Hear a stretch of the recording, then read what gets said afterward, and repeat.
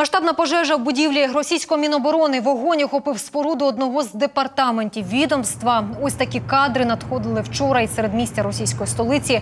За кілька сот метрів від Кремля у повітря здіймаються стовпи диму.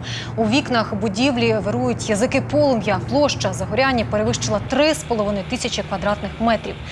Пожежі надали максимальний рівень небезпеки. Їх гасили півдоби. Покрівля будівлі частково впала.